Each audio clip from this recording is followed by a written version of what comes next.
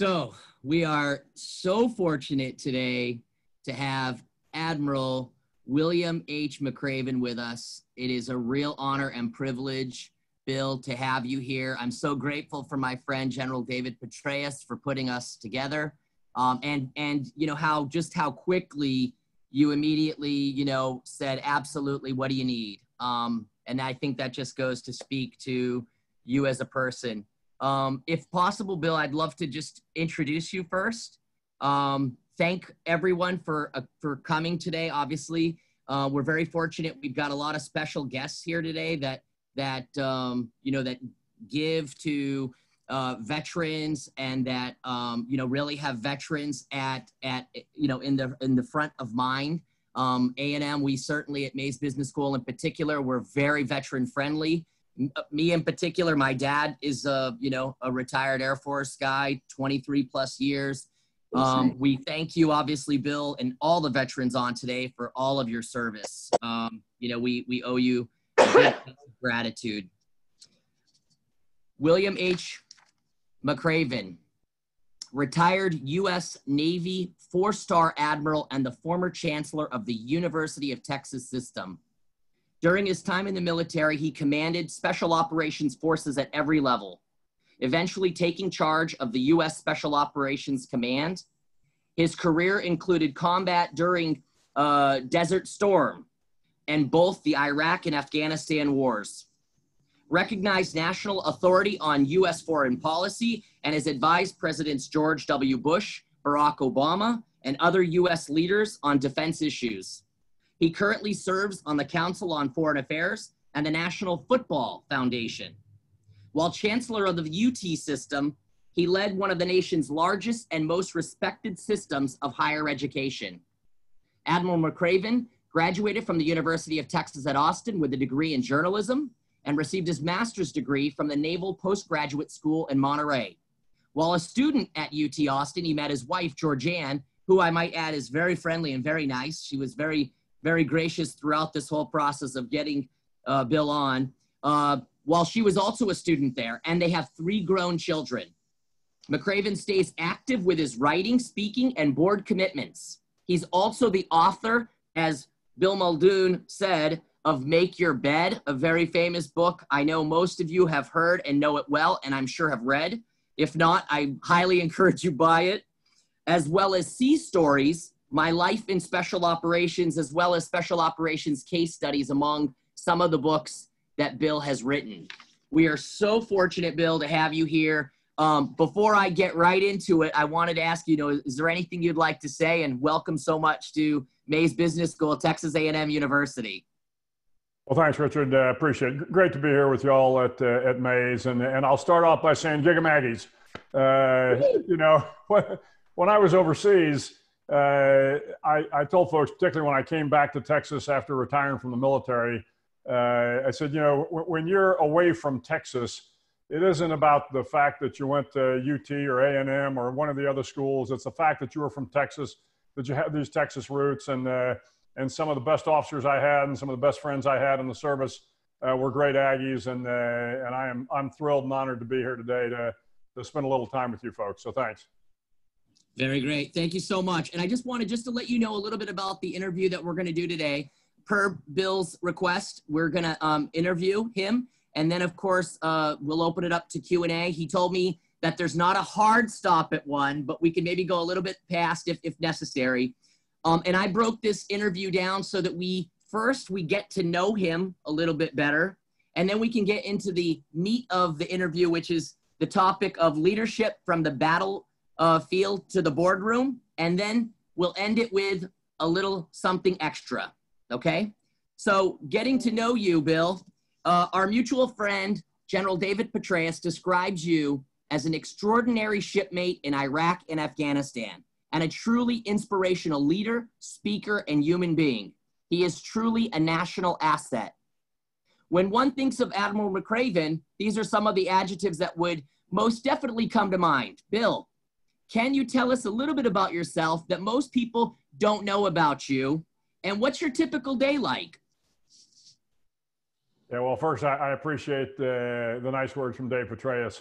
Uh, as General Petraeus uh, and I have figured out over the over the years, I think I served with him more than any of his army officers did because we we served together in Iraq, we served together when he was the CENTCOM commander, and then we served together when he was in Afghanistan. So uh, he just couldn't shake this old Navy guy, and uh, and and Dave and I have become very good friends uh, after certainly after we both retired, but even during our, our time in the service. And he is a phenomenal guy, and I I know he's had a chance to talk to Mays before, and uh, and I'm sure that was uh, extremely valuable uh, to your students um, and alumni. So, you know, what about me that, that you don't know? I mean, uh, I'm a big basketball fan. So uh, even at the, the ripe old age of 64, I like to get out on the courts and, uh, and bang around with the kids. Haven't been able to do that, obviously, since COVID. Uh, but I've got a net out in front of my house, and I, I, I still keep my, you know, my hook shot in form. It's about all I've got. you know, when, when you have a two-inch vertical leap, it's a little hard to, to take on the young kids. Um, but uh, yeah, so I'm a big sports guy, and uh, and I'm a big reader. You're sitting here in in, uh, in my library, or I'm sitting here in my library, and uh, and I uh, I just have this kind of fascination with books. I like hard books, although although I am a Kindle guy, I've become a Kindle guy. I still can't do without the, the, the feel of a good book. Great. Um, well, so I'm curious uh, you know, you are someone that so many young people look up to, um, and you're a role model for so many. I'd like to know, Bill, and I'm sure many of our participants would like to know, who was a role model for you growing up? Well, you know, I, I was really fortunate. I had two fabulous parents. Uh, my father was a, uh, an Air Force officer, World War II fighter pilot.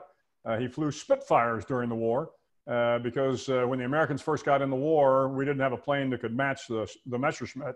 And so the Brits loaned us Spitfires with their Rolls Royce engines. My dad used to love to talk about how powerful the Rolls Royce engines were. Uh, so for two years uh, during the war, he flew cross channel missions, uh, supporting the bomber missions into Germany, and then down to North Africa, and then to, uh, then to Italy. Um, and my mother was an East Texas school teacher. She was raised in Grapeland, Texas. Um, and, uh, and so, you know, they have these, uh, you know, kind of greatest generation values and and and I grew up with that. I mean, my mother uh, expected me to work hard. She expected me to be honest. Uh, my father was big on respect and humility. Uh, so you know, you know, when you are raised uh, in this environment, I think it uh, it serves you well. You know, wherever you go from there. So when I look back at the the people that really shaped my character, I mean, it started with my parents, but I was fortunate also to. I went to school in San Antonio. Uh, had some great teachers there, and then then off to UT, and then of course my time in the military. You know, you're fortunate to be around remarkable men and women who kind of inspire you every day, and it's not just the it's not just the great officers; it's the remarkable enlisted men and women. Uh, and and when you see them and you see their sacrifice, uh, you see their their work ethic, their sense of duty. Yeah, it's hard not to be inspired. Fantastic. Bill, you've done so much in your life from being a four star admiral in the Navy, uh, leading special operations at every level, commanding troops in Desert Storm, Iraq, Afghanistan, to being the chancellor of the University of Texas system and advising US presidents on defense issues. What would you say has been your most challenging role and your most rewarding role? Yeah, I think they are one and the same. Uh, you know, when you are when you're in combat, and I spent uh, kind of six years in and out of Iraq and Afghanistan, uh, when you're in combat, it is incredibly challenging. You're making decisions every day, frankly, just about every hour of every day, uh, that affect the lives of the men and women that, uh, that work for you, uh, that affect the lives of the people you're trying to help. Uh, and, and so the, the pressure and the challenges of making the right decisions is again, it is incredibly challenging, but it's also incredibly rewarding when you make those decisions correctly. Um, again, you're going to have tough times. You're not going to get it right all the time. Uh, you're going to fail uh, periodically, and uh, and you hope at the end of the day, of course, the ledger shows that you had more successes than you had failures. But but again, being away from uh, from your family, uh, you know, is is tough. Uh, but it is also, again, rewarding to be with the, the soldiers, sailors, airmen, Marines, and, and civilians that are out there uh, helping with the war effort. So great challenges, but also great rewards. Excellent. All right, let's get right into it. Leadership from the battlefield to the boardroom. Bill, what do you believe is the most important characteristic or trait leaders should have, whether they are leading on the battlefield or in the boardroom? Yeah, you know, in the military, we, we have this uh, reference to a, a servant leader. Uh, the expectation that as a leader, you understand that it's not about you. If you ever think it's about you, if you think it's about your ego and your success, you're probably not going to be the leader or you're not the leader uh, that the team needs. And, you know, leadership in, in the simplest of terms is really just, you know, you have a mission to accomplish and the leader's got to inspire, motivate, and manage the people that work for them to accomplish that mission. The harder the mission, the harder the task, the better a leader you have to be. Um, but this idea of servant leadership, I think, encompasses a lot. It's a recognition that as the servant leader, your responsibility is to the people that work for you.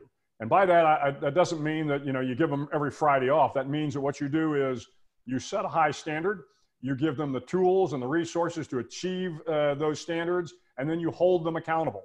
Uh, and, and these are kind of the three fundamentals I think of you know management and leadership is set a high standard, make sure you understand what that standard is, make sure you communicate that standard to the people that work for you, give them the resources, and by the resources I mean not just the tools, but the latitude to do the job.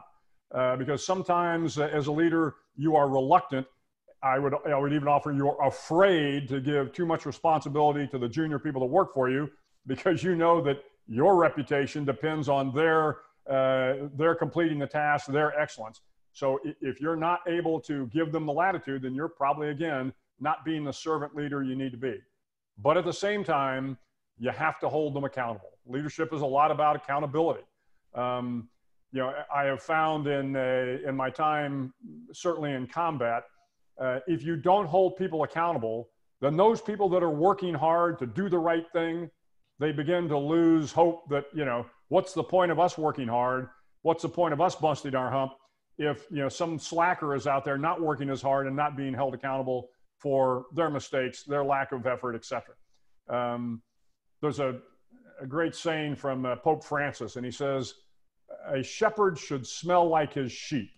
I love that. A shepherd should smell like his sheep. I think this is the other part of servant leadership and understanding that you have to be down with the troops. You have to be down with your employees. You have to understand the implications of your decisions on the men and women that work for you. And the only way you're going to understand the impact of your decisions is if you're if you're on the ground, you're walking around, you're listening to them, you know, you're able to understand that every time you say something, every time you do something, that has a ripple effect down to the, the very deck plates uh, of the ship, if you will, and, the, and to the privates in the foxhole and to the lowest employee in, in a corporation. Uh, so that, that kind of, uh, again, this idea of servant leadership encompasses a lot. Wow, that's, that's excellent. I, I love that. I love the saying too.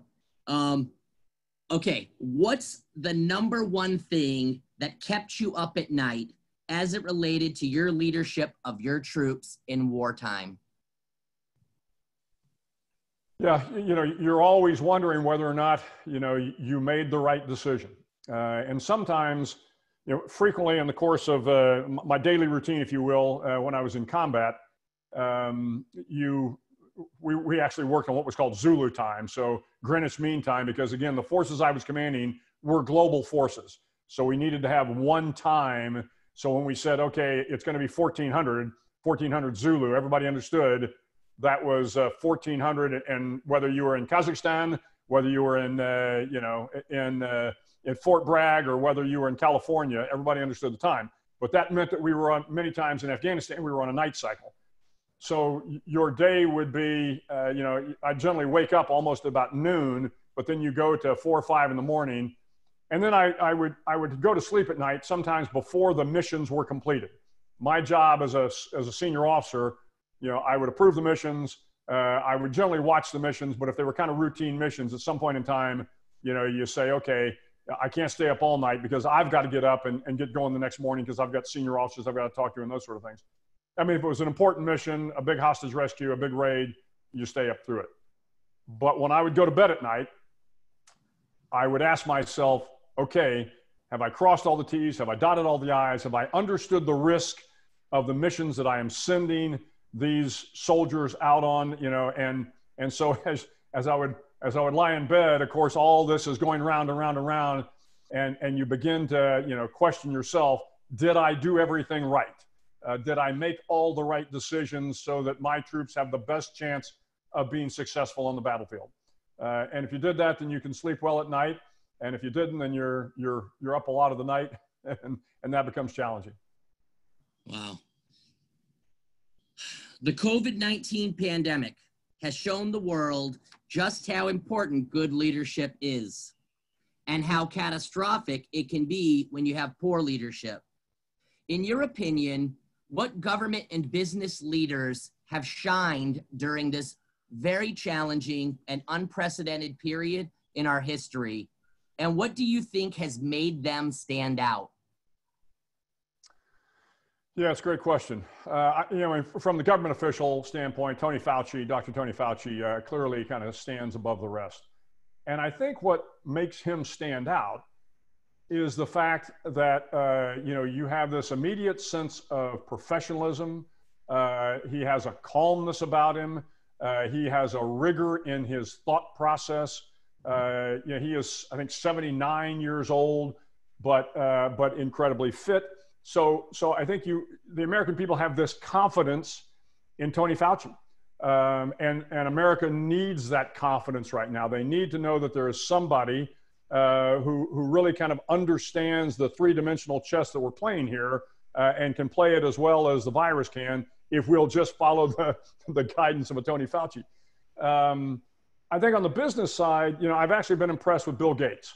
And, and I would offer that, uh, that Gates has done a lot of the same sorts of thing from the standpoint of he is certainly advocating that we follow the data, that we follow science. But Gates, as he always does, you know, puts his money where his mouth is.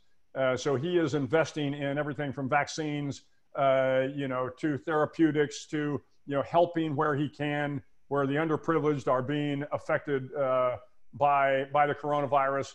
So, you know, you, you see these, uh, I think these two great individuals in terms of the federal government, Tony Fauci, and again, it just kind of comes to mind, but on the corporate world, Bill Gates uh, seems to, to shine, in my opinion. Okay, fantastic. Um, your amazing book, Make Your Bed, talks about the little things that can change your life and maybe the world. Can you please talk about the last thing on that list don't ever, ever ring the bell. And how the idea of never quitting should be applied to leadership in an organization.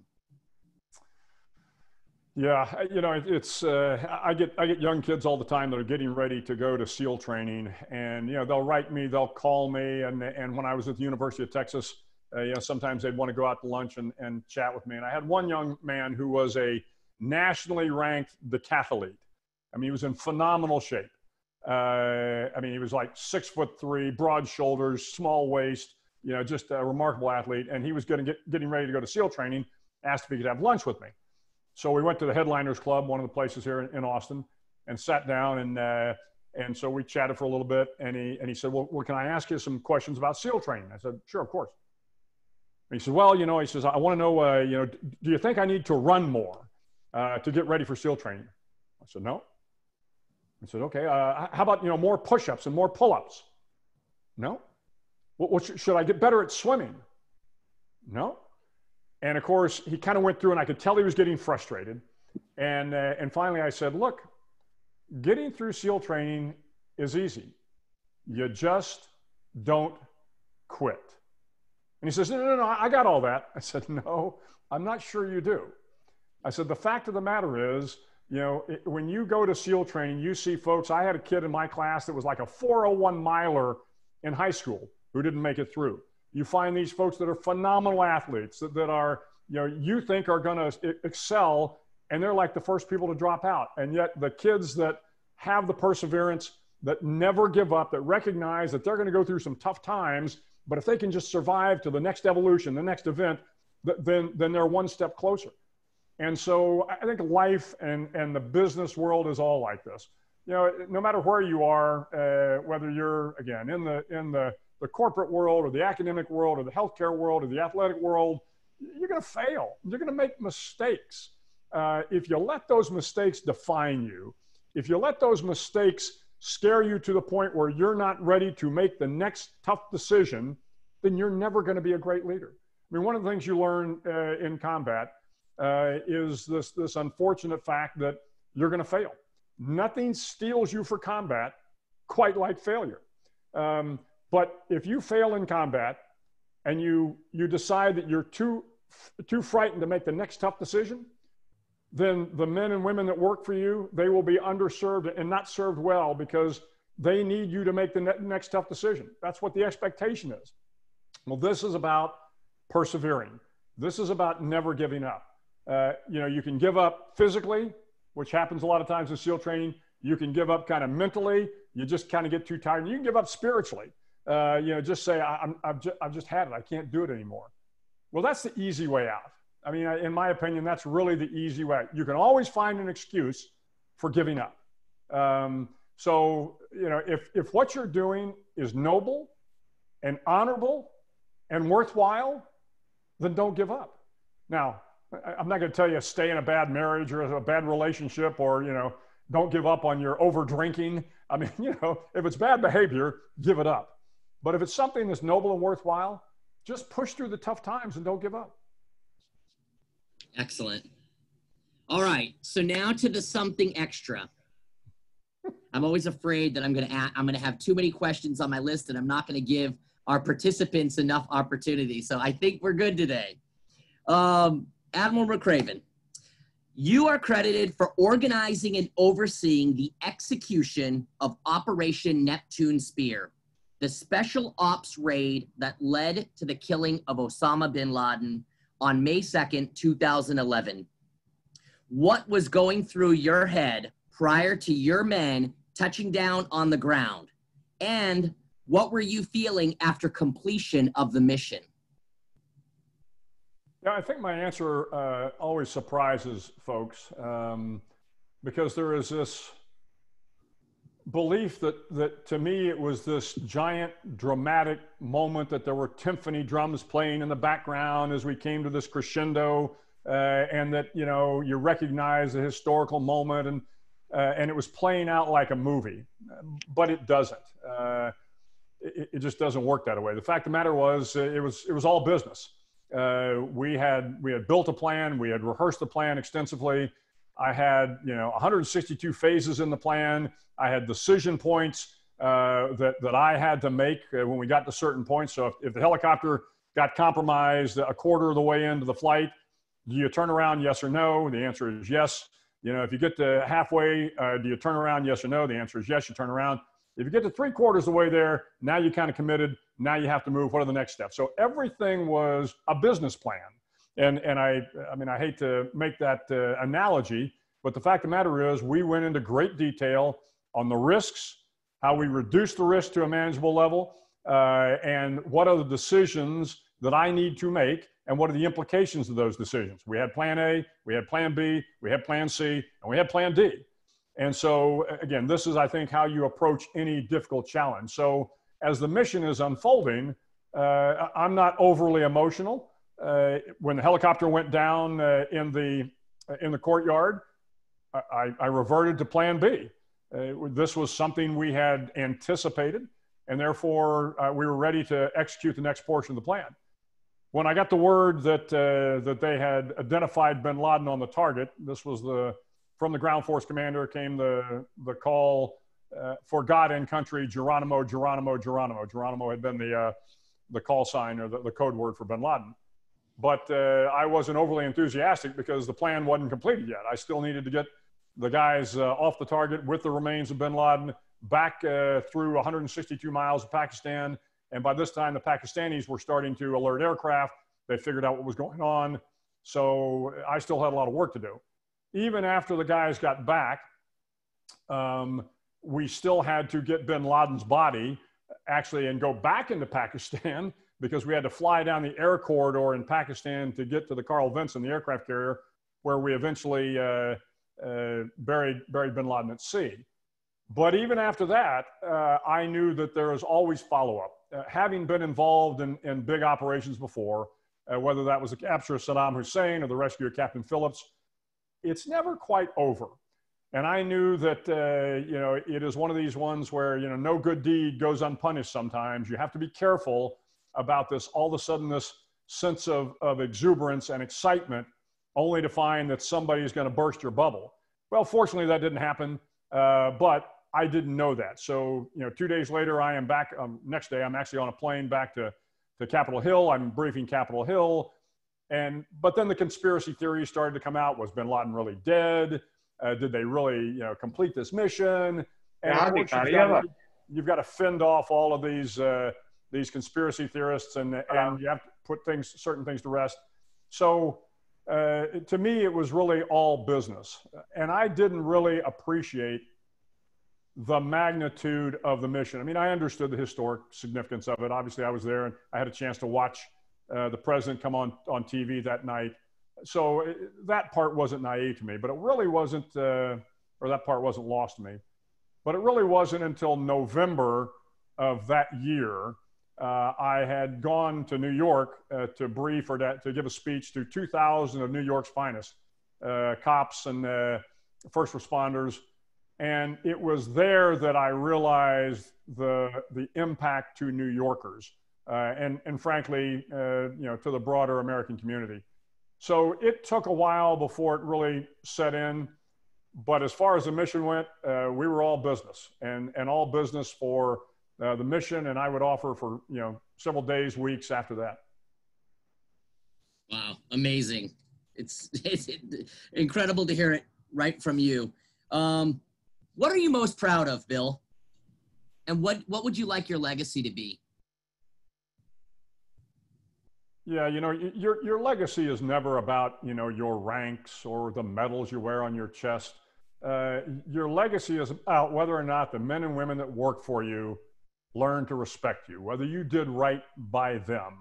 Uh, so it, at the end of the day, if the you know the SEALs and the Rangers and the Green Berets and the and the great Air Force and Marines uh, officers and enlisted men and women that work for me, if they think I did a good job, that's the legacy you know you hope to leave.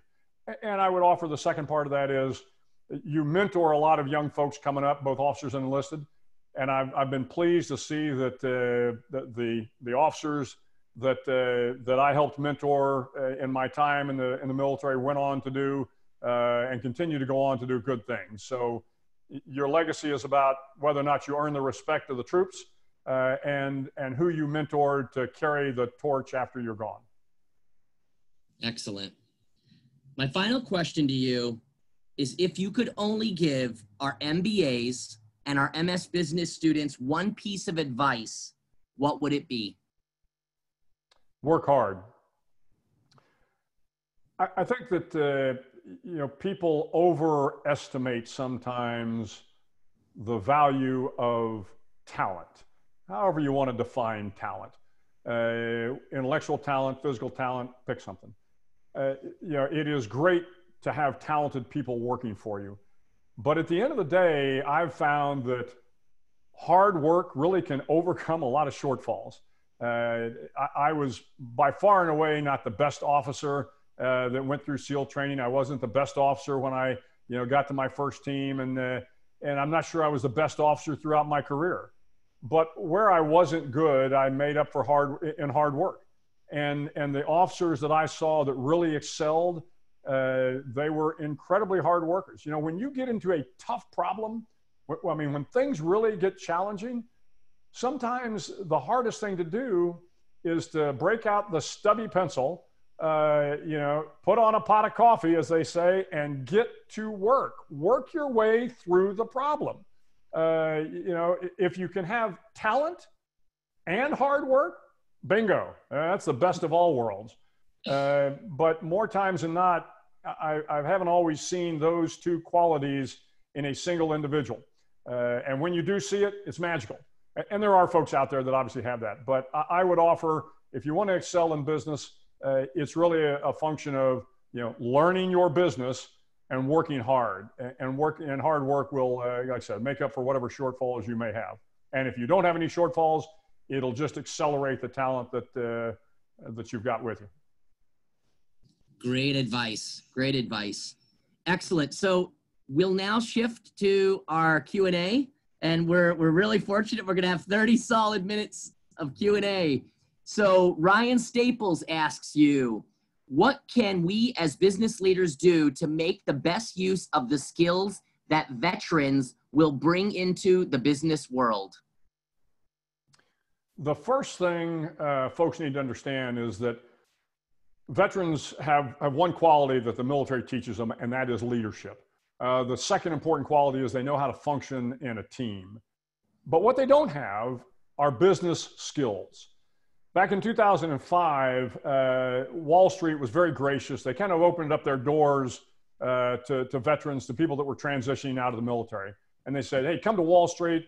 Uh, you know, you can be in, you know, hedge fund, investment banker. You can do a whole lot of things on Wall Street. And we welcome veterans, particularly the officers. Um, but here's what happened. They found out that, you know, almost 75% of those folks did not succeed in business because Wall Street made a mistake and the veterans made a mistake. Wall Street assumed that because you know these these folks were you know Naval Academy graduates or Air Force Academy graduates or West Point graduates or they'd gone to you know the University of Texas or A&M and then they had spent time in Iraq and Afghanistan that somehow this was going to make them you know great uh, you know on Wall Street or in the business world. Well, it didn't. Like anything else, you have to learn the trade. Uh, so if you're going to be you know good at whatever you do, Hey, go go to the Mays School of Business, go to McCombs, go to Wharton, go to pick something, but you have to learn the skill first. And then what you find out is that what the veterans have is, I mean, they're going to show up on time, they are going to work hard, they're going to be great team uh, team players, and when given the opportunity, they will lead well. But if they don't have the skill set to do the job, uh, then it's going to be really challenging for them. For the veterans, what they've got to be able to do is make the transition to a different culture. They have to recognize coming into the corporate world that the culture is just not the same as the military. And if they expect to find that culture, they're going to be disappointed and their morale will take a hit and then their enthusiasm will take a hit. So the, the veterans, you know, where, where the business world uh, and the veterans need to come together is the business world needs to understand the veterans need training and the, the veterans need to understand they're about to step into you know a new assignment that is unlike anything they've done before. Learn the business world. Learn the culture uh, and then you can apply the leadership skills and the teamwork that, uh, that you learned in the military to, to doing your job uh, but but if you think you're going to go into an organization uh, just because they're wearing suits and they have kind of a, a, a corporate mentality does not mean it's going to be the same culture as you had in the military excellent as a leader, what was your biggest mistake and what did you learn from it? yeah, where do I begin? you know, uh, the the list is is awfully long. Um, yeah, biggest mistake. Um, you know, again, there were mistakes all the time. I don't know if I could call out one as the biz- biggest mistake, but I will offer uh, something I talked about before. Uh, when uh, uh, right before the Bin Laden raid, we had a mission that did not go well. And, and back to what I was saying earlier, you know, I, I, went back and I played it over in my head again and again and again and again. Um, and, and frankly, it began to consume me a little bit. And, and I began to second guess myself. Well, when the bin Laden raid, when, uh, when the planning for this started, it, it was just me uh, me and, and one other Navy captain who was kind of my, uh, my sidekick. But I, I, I had, didn't bring the SEALs in yet. I didn't bring any of the other planners in yet because the president hadn't made the decision to go with the raid. So for you know three months, uh, it was just me making the plan, briefing the president, and and this this failed mission beforehand was weighing on me heavily. So the the lesson that I learned, and it's not that I hadn't known it before, but back to the point about look, you're going to make mistakes. You got to learn from those mistakes, but you can't be afraid to make the next tough decision. But as I was grappling with this uh, and wondering whether or not I had done all the appropriate preparation for the mission, I finally brought in some of my key um, enlisted and officers, and my sergeant major, command sergeant major, who was the senior enlisted guy on my staff, a, a great friend, a, a, remarkable warrior. And I turned to him and I said, Hey, uh, Sergeant Major, yeah, I need to tell you, I'm, I'm a little concerned about this. And he, and he kind of gave me that look and he said, Hey, sir, you know, you made the right decisions on the last mission. You're making the right decisions now. Don't second guess yourself, you know, press forward. And I needed that reinforcement. So when I say what was the, you know, the, the biggest mistake I made, I would just offer that, you know, it's not necessarily the biggest mistakes you make in life. It's the kind of culmination of mistakes and you begin to lose confidence in, in your decisions and, and your ability to kind of move forward gets constrained. You got to be careful about that. Again, you need to learn from your mistakes. Don't misunderstand me. Uh, you need to go back and do the forensics. Ask yourself, what could you have done better? But then the great leaders, even the good leaders, you've got to say, okay, I've learned from that now let's move forward and i'm going to make uh, i'm going to be better next time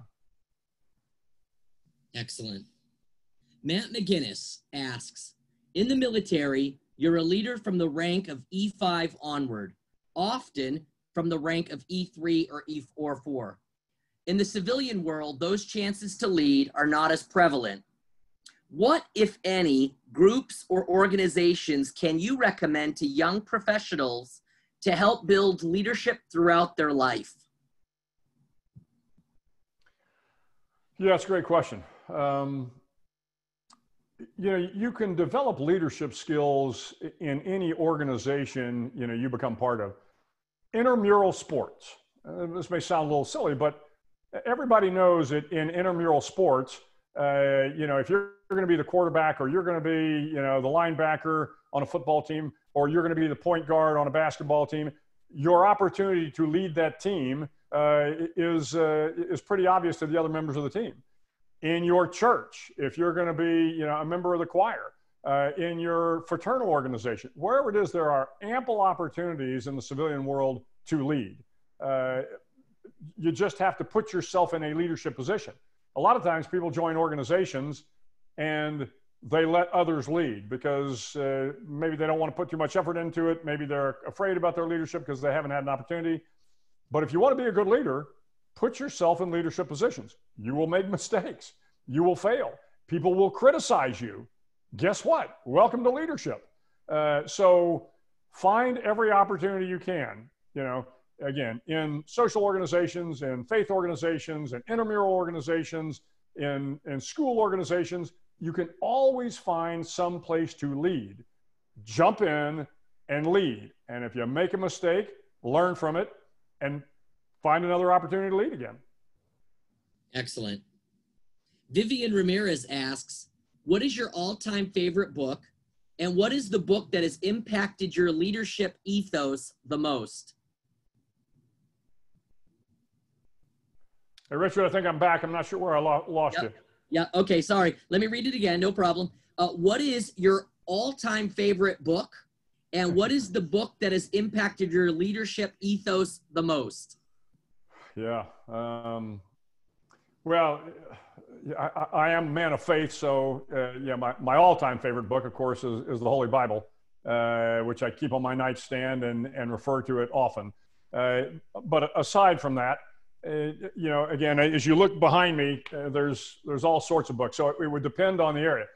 In the military, my favorite book is Karl von Clausewitz's On War, and uh, it is the seminal book on war. I, I, found it to be incredibly helpful when I was thinking through strategic issues uh, when I was a senior officer. So if you're in the military, I don't care what rank you're at, you ought to read Clausewitz's book on war. Now it's pretty thick. Um, but it is it is it is vastly uh, important. You know, I, there's a, a, little book out there called The Speed of Trust uh, by Stephen Covey, and, and I like the Speed of Trust uh, because it's it's got kind of two fundamental principles to it. Uh, it. it. talks about what does it take to build trust in someone, and uh, and it says, look, there's two things. First, you have to have a personal relationship, and so you know you can have a personal relationship with your brother, brother-in-law but you also have to be able to deliver on your promises. So, you know, you could love your brother in law and you could trust your brother in law, but if you give your brother in law a job or a task and he doesn't complete it, you lose trust in your brother in law. So, organizations fundamentally have these two components, business organizations in particular. Uh, You have to have a personal relationship with the leadership of that corporation, but they've got to deliver or you lose trust in them. Well, this is frankly no different in, in the military or in academia or in healthcare. Uh, trust is an important factor in, uh, you know, in, in developing uh, you know, a plan for moving forward. Yeah, there are, I mean, I'm also a big, uh, you, you, asked something about me that people don't know. I, I love philosophy. Uh, I'm a bit of an amateur philosopher uh, with an emphasis on amateur. Um, but about half my bookshelf over here is uh, is on uh, is on philosophy, and and I I like everything from uh, from Descartes to Kant to Nietzsche, uh, and all of those books. While I don't agree with a lot of the philosophers, uh, those books kind of help shape my thinking uh, when you're having to deal with uh, with deep issues. That's excellent. Uh, Craig Razaev asks, "Did you ever feel anxious?" before first day of SEAL training, leading big operations, or speaking in front of UT graduates? What is your advice to calm yourself and remain focused during high stress events? Yeah, I, I, don't want this response to sound too self-serving, um, but I, I had uh, you know a fair amount of confidence in my athletic ability when I went to SEAL training. So I wasn't overly nervous about uh, about going to SEAL training. Uh, I was uh, I was a good athlete. I was in good shape. Uh, I, I, felt ready for SEAL training. I didn't know anything about it. You know, this was 1977, so I graduated from UT in May of '77, and I started SEAL training in late July, I think. Um, but but I had been probably in the best shape of my life, so I, I was excited about going. But I didn't know anything about SEAL training because back then there were no movies, no books, no nothing. You showed up. In fact, I wasn't even sure I was showing up at the right place initially. So uh, I, I was pretty confident going into SEAL training. Uh, in terms of, uh, of you know, your life in, in combat, uh, sure, you're, you're nervous or you're scared uh, every single day. Every time I got on a helicopter uh, to fly around the mountains of Afghanistan or to fly from you know, Balad to Bagram, you're scared. Uh, there's nothing wrong with being scared. You just can't let the fear control you. So the one thing you learn, whether you're standing up in front of 10,000 people uh, to give a speech or whether you're in combat, you have to learn to control your fear. And, and that comes from experience. That comes from you know, getting up uh, and doing it again and again and again. In combat, you know, you take that fear and you, you put it as far down as you can and you put as many barriers around it as you can and you try not to allow that fear to come out and, uh, and drive your actions. But it's always there. It's always there, and, uh, and you've just got to be able to overcome it. So there, there's no, you know, no magic, uh, magic pill that can, that can keep you from being afraid or nervous.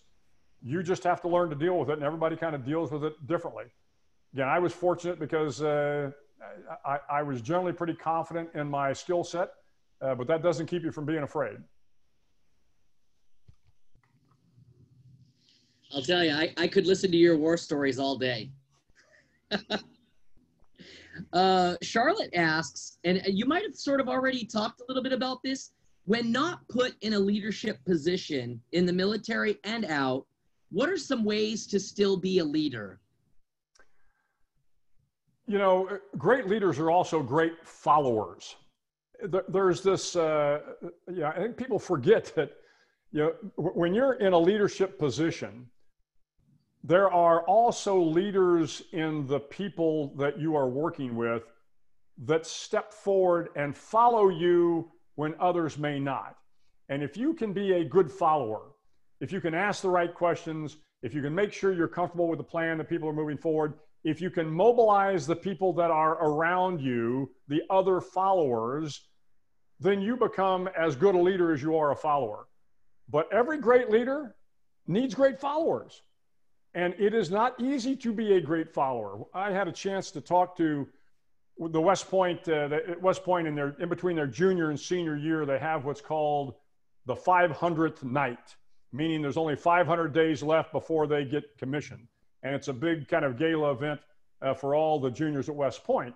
And I was honored to to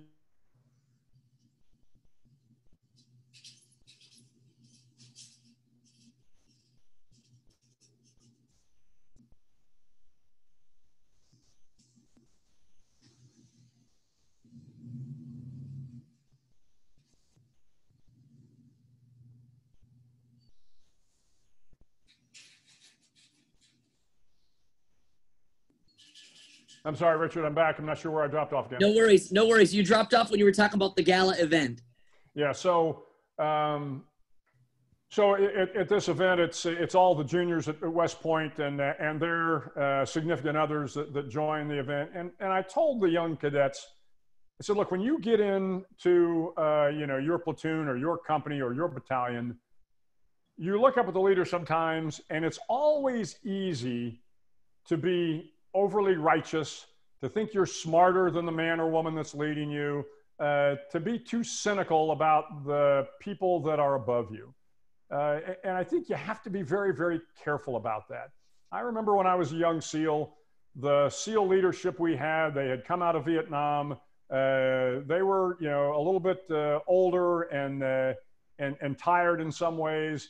And sometimes the junior officers would kind of you know, laugh about them behind their back, or they'd point out their, uh, you know, their little idiosyncrasies. Uh, and, and, that is not a healthy thing for any organization.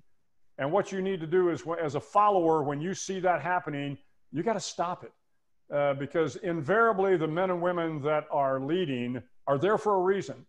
Uh, they got there because they worked hard. They got there because they proved something uh, that put them in that position of leadership. I always told folks uh, when I took a, a new job, the man or woman before you was not an idiot. So when you see a challenge and you say, well, I can solve that, you got to be careful about that. The person before you tried to solve that as well and they struggled. Um, so again, this idea of followership uh, is important. Learning how to be a good follower, learning how to be professional and you're dealing with, uh, with your boss, learning how to motivate the other teammates that are with you, uh, to again follow the leader. That's that's real leadership. Excellent. Suzanne Spera asks, "How do you handle confrontation and get your way, so to speak, without confrontation? What types of strategies have you used?" Well, the great thing about uh, about the military is because you have a hierarchy um, you know, the, the, confrontation, you do have confrontation, make no mistake about it. Uh, the, the, the, great thing I do like about the military is that you can have uh, a, serious uh, conversation. Uh, and in fact, the expectation in the special operations community is before you go out on a mission, uh, you know, you're you from the, the Army captain in the Rangers leading the mission to the private. Uh, I mean, people are going to talk about this. They're going to get a chance to, to express their concerns but once the, once the decision is made, everybody kind of salutes smartly and moves out. And then when they come back from a mission, boy, everybody gets a chance to kind of tear apart the goods and the bads of the mission so that frankly they'll be better prepared when they go on the next mission. But confrontation is again, it's a, that's a part of leadership. You have to figure out how you're going to deal with, uh, with frankly, with, with disgruntled employees, with disgruntled uh, colleagues, and, and obviously with disgruntled superiors. I've always found that listening uh, and, and trying to kind of put myself in their shoes is always helpful. So when somebody comes up and, uh, and is mad about you at something, you know, the first thing you do is you, you tend to want to get defensive. Well, wait a second, you know, uh, I knew what I was doing or I did this right. And boy, sometimes you just have to take a deep breath and you have to say, okay, were they right or not? And if you can do that, and if you can try to think clearly through what they're saying, even if they're kind of yelling at you, or even if they're they're being a little too aggressive, if you, if you can get past that and determine whether or not their points are valid, that allows you to kind of deal with that confirmation, uh, that that confrontation a little easier. But sometimes you just have to stand your ground as well. If you think you're right, um, and and you think that uh, that you need to press forward, you just have to stand your ground but I'm also a people person, uh, and and sometimes it's helpful to be a people person. I back to you know, what did you learn growing up? Well, I learned to, to respect people. My father and my mother, uh, I mean, they made it they made it crystal clear to me that that I had a responsibility to respect everyone, you know, unless they uh, were were patently disrespectful to me.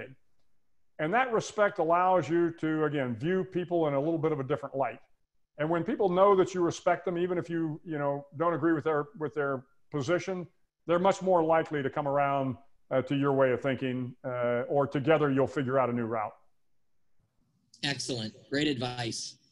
William Muldoon asks Bill, can you compare and contrast your leadership in the Navy versus working with UT?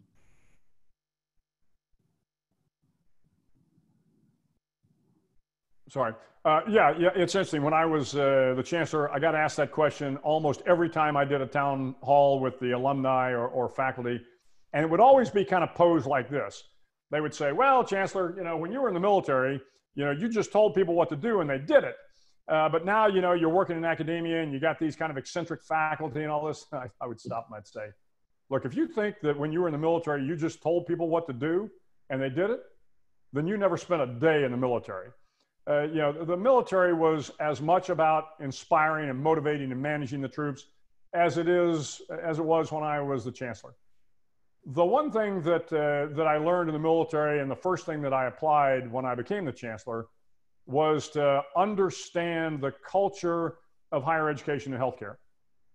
When I was getting ready to come into the job, uh, I met with uh, the woman who was uh, essentially my executive officer and I didn't know her well at the time. And I said, uh, I said, Jana, I said, uh, you know, are, are people concerned about, you know, me coming in to take uh, on the job as a chancellor? And she paused for a minute and, and she finally said, uh, well, yes, sir, they, they are. And I said, uh, okay, why are they? She said, well, you know, for one, they know you're going to bring your people in uh, because, you know, every new chancellor coming in, they kind of bring their people. I laughed. I said, yeah, I don't have any people. You are my people said, you know, the, the, people aren't coming from the military to join me here. You are my people. And she goes, okay. She said, well, you know, I mean, we know that, you know, you've spent 37 years in the, in the Navy. And, uh, and so there was this kind of expectation that we were all going to be like marching around and saluting each other and ringing bells on the quarterdeck. I said, that's, that's not kind of the way it works. I said, the fact of the matter is, I need to understand how you do business in higher education. I need to understand how healthcare works. I want to understand. Tell me what a chair of a department does. What does a dean do? What does a provost do? What's the, what are the roles and responsibilities of the president? How does formula funding work? Explain to me everything I need to know uh, about, uh, about higher education. And once you begin to understand the culture, then you can apply the leadership skills that you, you know to be, frankly, fungible. And this is one of the things. Even in the world of, of higher education, the faculty, the administrators, the students, they want somebody to make the hard decisions. They don't want these decisions to languish. Uh, I was fortunate when I came to UT, uh, we were right in the middle uh, of, of two kind of hot button issues. And the first one was uh, guns on campus, uh, campus carry. And, uh, and I came out very early on. A reporter asked me about campus carry, and I said, no, I, I don't support it. And of course, this, this created a, a bit of a, of a fury uh, or you brouhaha because one, there were a lot of people in Texas thought that uh, campus carry should go forward. And I said, look, I've been shot at before. I, I don't really think we need more guns on campus. Uh, the, the uh, that immediately endeared me to the faculty. Uh, and then the other issue was, uh, was the, the, the dreamers. I said, look, you know, I've spent a lot of time. I grew up in Texas. I've watched these young men and women who came over when they were two or three years old be educated within the public school system. Now they're going to our great universities. And so I supported the Dreamers, also something that wasn't necessarily popular with, with other parts of, uh, of the folks in Texas. But, but these were decisions that I thought needed to be made for what were the best interests of the university. So learn to make you know the hard decisions, but also you have to get down and be spend time with the troops. Uh, I mean, I traveled all over the place. I, I, would go to all the institutions. I would talk to the faculty. I would talk to the students, just like I did when I was in the military. Uh, you have to understand. You have to listen. Back to you have to set high standards. You have to give the presidents and the administrators the tools and the resources and the latitude to do their job, and then hold them accountable when they don't do their job. Uh, it, it was leadership 101. It served me well in the military, and it served me well as a chancellor. Excellent. We have time, I think, for just a couple more questions. Um, Karina asks, what would you say to CEOs and other senior business leaders, hiring managers that may have hesitations about hiring military veterans because their perception of military leadership is influenced by movies where they see drill sergeant like management? yeah, that's a, it's a great question. Uh, and that is a, a, perception that is, is genuine. There are people out there that, that nowadays, of course, they've got other perceptions. They are, they are concerned that if you spent time in combat, that you are somehow broken uh, because they see a lot of the, uh, the stories of PTS and TBI, and, and they're concerned that the veterans are coming and somehow, uh, again, they're going to be broken individuals. The one thing I am quick to point out to CEOs is look, war changes you. Make no mistake about it. Uh, everybody that goes to war or everybody that serves during a time of crisis is going to be changed. Uh, but I will tell you, most of those people are, are resilient, and resilience is an important characteristic, I think, for any CEO. The other thing that most CEOs know is if you're in the military, you have this sense of duty. Uh, and by duty, I mean you're going to show up on time, you're going to work hard, uh, you're going to, again, be a good team player. Uh, and, and that is one of the characteristics and one of the traits that, that is apparent, frankly, to most of the CEOs I've met.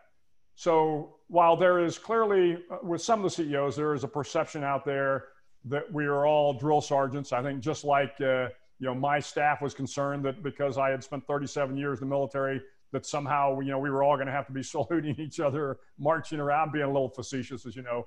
Um, but but they thought I was going to be a little bit too too uh, rigid, I think.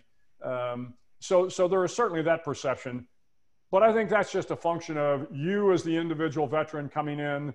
You can lay those fears immediately when you sit down with whoever is hiring you and show them that you have learned about the company, that you're flexible enough, uh, that you're willing to be part of this culture, uh, and that you're going to work hard. And then that will dispel all those, uh, those negative myths.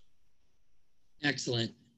Kate Wynn, one of our MS business students, asks Admiral McRaven, how do you find encouragement when you felt spiritually, emotionally exhausted? And she says, Thank you so much for speaking to us. yeah, thanks you know, I was uh, rarely was I discouraged. It did happen. I, I, I, wouldn't I wouldn't presume to tell you it didn't happen. There were times when I was discouraged, but most of the time I was inspired by the by the young soldiers, sailors, airmen, marines, and again some great civilians out there that worked for me. And so when you're discouraged, all you have to do is you know all I had to do was kind of get out of my office and go talk to some soldier sitting on the, you know, the, the guard desk and, and find out their story and find out how, how excited they were to, to be helping out on something. So whenever I had, uh, had problems with my own morale, I immediately would get down and talk to the, the troops or the employees. The same thing happened at the University of Texas, you know. I always found the reason I loved spending time around the faculty was that they were so passionate about uh, you know what they wanted to teach their students, or they were so passionate about the research they were doing.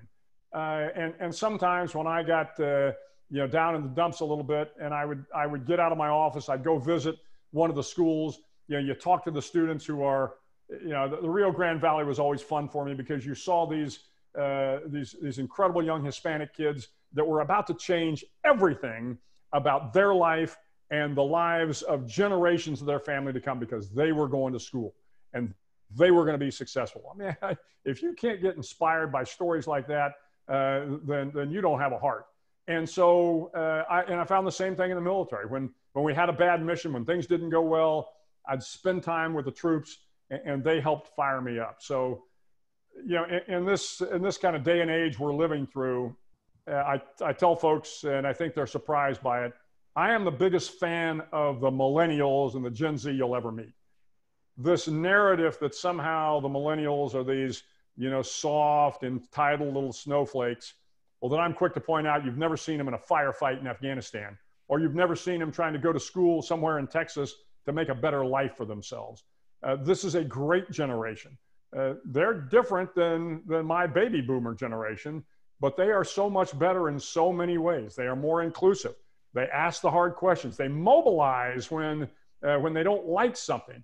And, and while I may not agree on a lot of the issues they mobilize on, they're not afraid to do that. They're not afraid to kind of confront the issues of the day. And so, as we are going through this, this pandemic, as we are going through this kind of social upheaval, these are going to be tough, tough times. I'm convinced we're going to come out of it and actually be stronger as a result of it. And I believe that because I've spent time with the young men and women that are going to make us better at the end of this. So if you have those days, yeah, go talk to your students, go talk to your friends and colleagues that are trying to uh, to make their way in life, and uh, and that generally perks you up. Excellent. I think that's a really good that's a really good one I think to end on. I, I want to be so respectful of your time and we're so grateful again for having you today and for you joining us. Um, make sure to know, uh, Bill, I'm I'm at your beck and call if you need anything, my friend. Um, and and again, really, just thank you for joining um, us all at Mays Business School and at Texas A&M today. We've had we had over 250 on to to listen to you, and I'm sure they they all left very inspired um, and very grateful as well. So thank you again. Well, thanks, Richard. Let me uh, let me thank all of you. This is uh, this is a great time in your life, uh, and I know these are difficult times, uh, and I know you know your future at this point in time may seem a little uncertain. Uh, as I said, I'm confident we're going to get through this. We're going to learn new things about how we do business we're going to learn new things about you know how we function as a society. Uh, but at the end of the day, we will come out stronger. I'm not again. I'm not going to tell you it's going to be an easy road, uh, but we'll be stronger as a result of it. And I think the business enterprise, after we go through this kind of cataclysmic uh, event, uh, will also uh, turn out to be very prosperous. And you'll find uh, you'll find your path forward looks brighter than you anticipated. So best of luck to to all of you out there. Thank you. Thank you so much again. There, has been a couple people typing in. Would you please consider running for president? uh, thanks again, folks. I appreciate it. Y'all take care. Thank you so Thank much. You I really sir. appreciate it. Have a good day. Take care. Thank you.